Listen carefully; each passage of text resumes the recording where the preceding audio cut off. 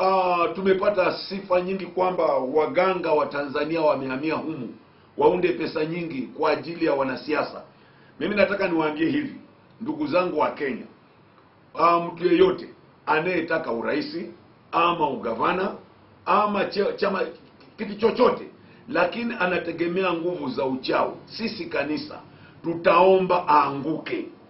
Yeyote kama ni wa Jubilee ama ni wa NASA ama Naswa, yeyote yule ambaye atakuwa nguvu zake ni za uchawi, ili atoe sadaka za damu za watu kwa ajili ya kuascend to authority, mtu huyo Mungu amlaani kuanzia leo hii, asubuhi isipambazuke kwake, mabaya yamwandame yeye kabisa na jamii yake. Mtu ambaye anatumia nguvu za uchawi ili awe rais ataleta wachawi, nchi hii itakuwa chini ya nguvu za uchawi.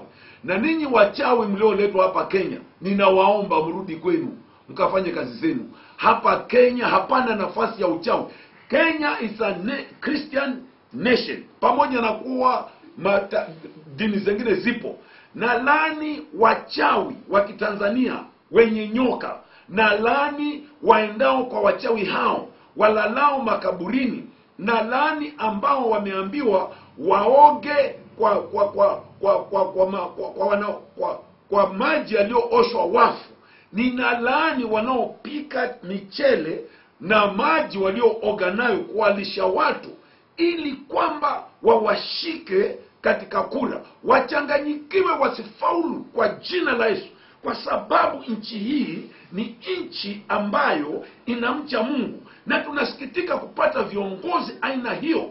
Kama utaenda Lake Victoria kufanya uchawi ama kwa milima kufanya uchawi, ulaaniwe kwa jina la Yesu, hutafaulu. Wewe ni adui wa taifa hili, hufai kuwa rais, hufai kuwa me, uh, gavana, hufai kuwa kiongozi yeyote. Wewe rudi kwenu, ukalime miwa, ukalime kahawa. Hatukutaki sisi kanisa, hatukutaki kwa jina la Yesu. Hiyo ndio nimesema.